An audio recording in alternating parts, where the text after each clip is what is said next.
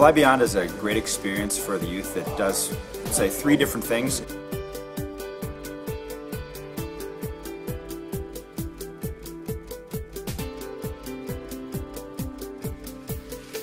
One is it reassures them that what they believe, as we talked about this week, it reassures them what they believe is really real.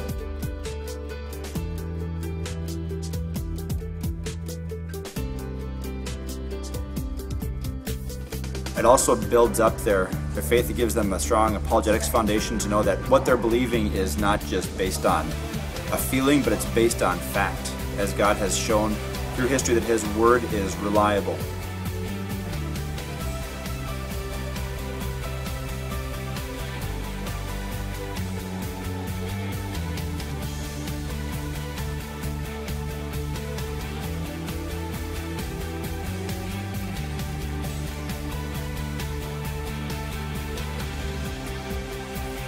And also it creates a sense of fellowship that I think a lot of them don't get at home. Uh, a lot of them maybe come from smaller congregations where they don't have a lot of uh, fellow believers to interact with, whereas here at Fly Beyond it gives them a, a fellowship that extends beyond their congregation, but a fellowship of, of believers from other churches where when they come together they can feel a sense of community, and it's a community that can continue on after they go home with, with friends from around the country and from around the world.